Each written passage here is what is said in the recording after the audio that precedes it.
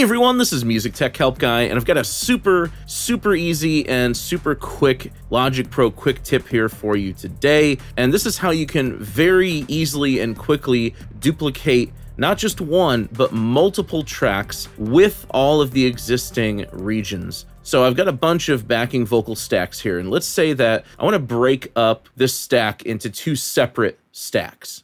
Now, in order to do this, I'm going to need to duplicate every single one of these tracks. So you might think, okay, I'll just select the track, I'll click the duplicate button here, that duplicates the track, then I've got to go and duplicate the regions down. That's way too much work. That's too many clicks, and that'll take forever, especially if you have this many tracks.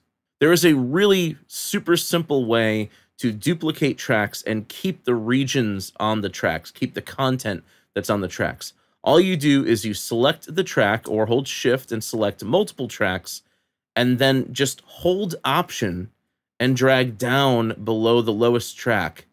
And not only will it duplicate all of those tracks, it will also duplicate the regions. And this also duplicates all of the plugins, the sends, the levels, the pan, automation, etc. This is one of those modifier keys that seems so obvious, but for years I didn't know it was there. But it works just like duplicating regions. You select the regions, hold Option, drag the regions over, and it quickly duplicates them. The same thing goes for tracks. And this works with one track, multiple tracks, any type of track. I hope you guys enjoyed this video. If you did, please leave it a thumbs up and subscribe to the channel to see more content like this. Thank you so much for the support, and thanks for watching.